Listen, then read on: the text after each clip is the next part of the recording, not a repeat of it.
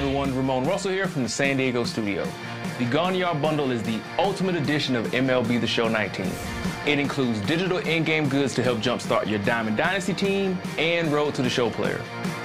It also includes the limited edition New Era Gone Yard 950 Snapback.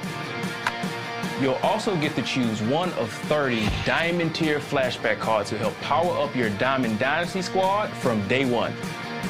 The Prestige Gear Up Choice Pack allows you to choose four different items to help enhance and add style to your Diamond Dynasty team and your Road to the Show player.